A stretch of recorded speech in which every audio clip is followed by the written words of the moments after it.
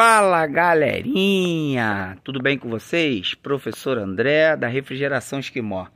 Galerinha, o vídeo de hoje eu tô com essa geladeira aqui, uma Consul modelo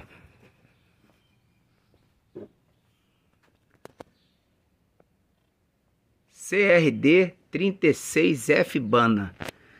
Então, galerinha, essa geladeira aqui o cliente tá tá alegando que a geladeira não está gelando não está, não está gelando. E eu vou mostrar para vocês o que está acontecendo com essa geladeira, o que está fazendo ela não gelar. Tá legal, galerinha? Logo após a vinheta.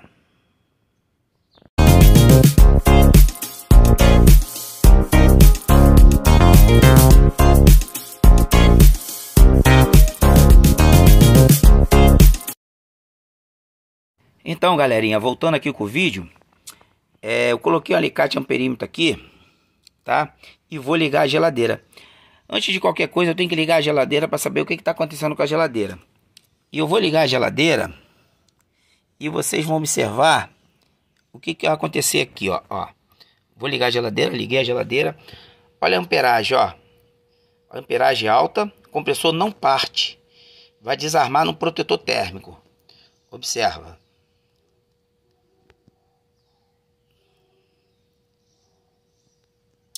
Desarmou no térmico. Isso me diz o quê? Isso me diz que o defeito dessa geladeira pode ser dois defeitos.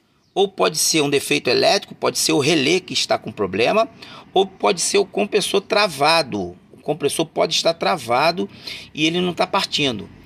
Então agora nós vamos tirar o relé e o protetor e vamos fazer o teste neles e já volto com o vídeo aqui para vocês.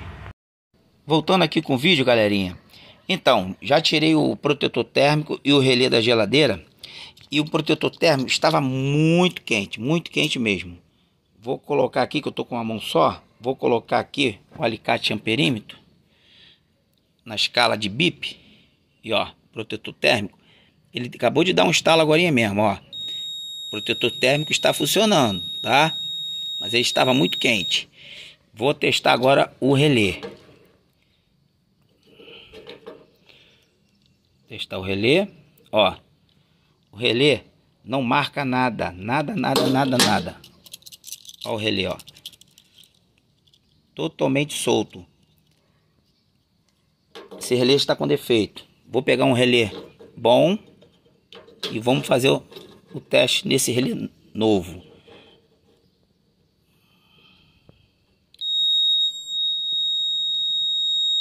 Esse relé tá novo, tá funcionando, tá vendo? Tá dando bip.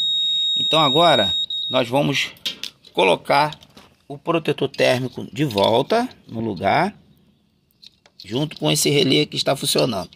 E vamos partir a geladeira. Botar ela para funcionar.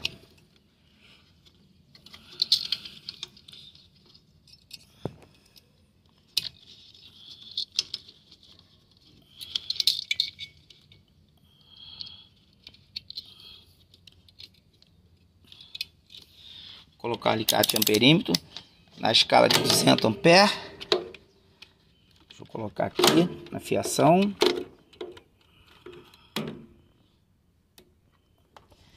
E vamos partir o compressor.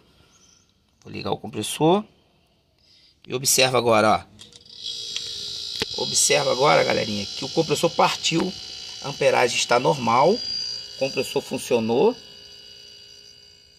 E provavelmente a geladeira vai, vai, vai, vai gelar, vai voltar a funcionar normalmente.